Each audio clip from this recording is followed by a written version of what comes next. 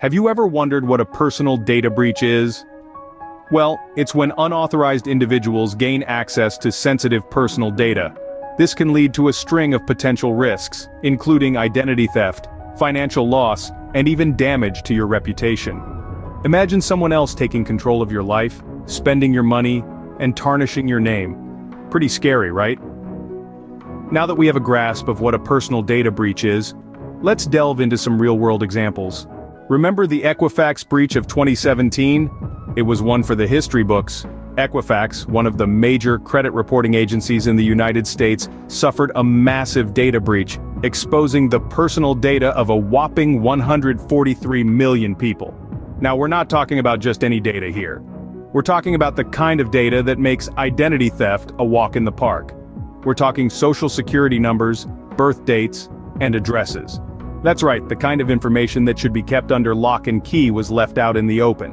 The aftermath was a storm of financial and reputational damage for Equifax. The company had to fork out millions in settlement fees and its reputation took a severe hit. But the real losers were the millions of people whose personal information was exposed. The Equifax breach is a classic example of the magnitude of damage a data breach can cause.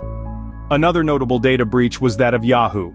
This incident, which took place in two waves across 2013 and 2014, is considered one of the largest breaches in history. It resulted in the compromise of an astounding 3 billion user accounts. Yes, you heard that right, 3 billion.